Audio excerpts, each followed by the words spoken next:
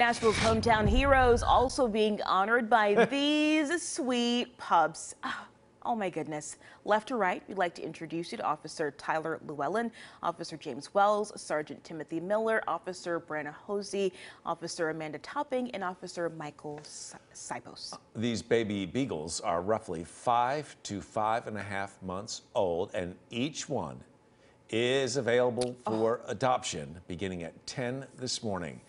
To book an appointment and to possibly meet your future family member, you'll need to go to nashvillehumane.org slash booking. By the way, these pictures, so cute. Pauline Andres took these. Thank you so much. Ah, absolutely. Just look at their floppy ears. They're so floppy. I love it.